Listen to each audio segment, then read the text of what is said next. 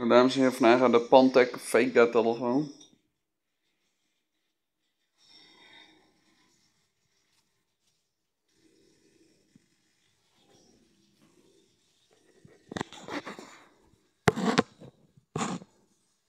Zijkant. Beetje gedeukt. Achterkant.